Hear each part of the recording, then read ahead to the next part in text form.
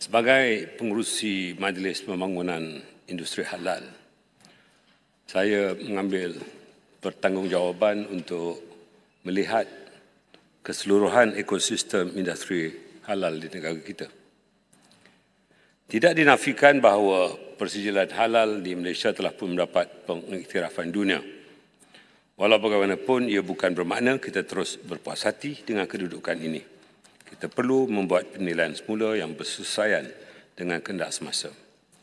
Antara perkara yang perlu kita lihat dan teliti adalah struktur industri halal itu sendiri yang melibatkan proses pensijilan halal, pengurusan bakat halal, dasar halal negara, pelan pembangunan halal dan pelan pemasaran halal.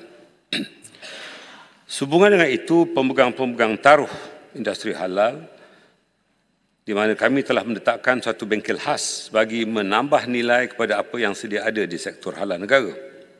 Sehingga Julai tahun ini, jumlah syarikat yang telah mendapat persijilan halal daripada JAKIM adalah sebanyak 9,146 buah syarikat. Dari jumlah tersebut, sebanyak 8,105 buah syarikat merupakan syarikat PMKS atau perusahaan mikro, kecil dan sederhana.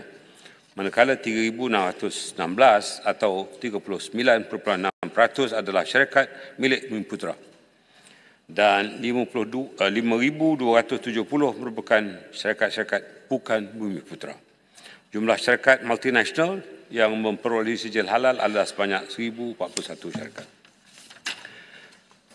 Jadi bertua dalam usaha meningkatkan penglibatan masyarakat Bumi Putra dalam industri halal, Pelan Induk Industri Halal atau HIMP 2030 telah menggariskan satu teras strategi yang memfokuskan kepada galakkan peningkatan daya saing syarikat Bumi Putra.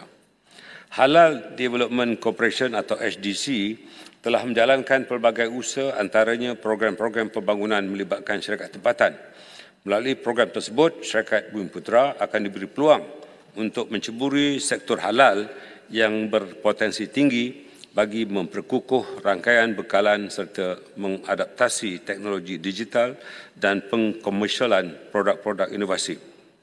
Contohnya, Malaysia Global Halal Show 2024 yang menawarkan khidmat bimbingan kepada syarikat